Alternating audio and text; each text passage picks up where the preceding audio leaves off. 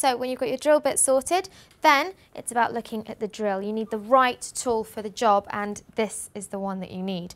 Basically, it's a nice, light, small drill. It's a combi drill. It does a little bit of everything, which is what drills do nowadays. Also a lithium ion battery, which keeps it nice and light.